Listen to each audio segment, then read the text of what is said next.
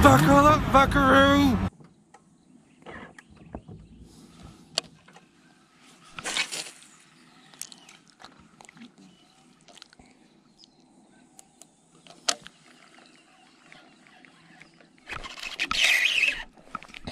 Yes.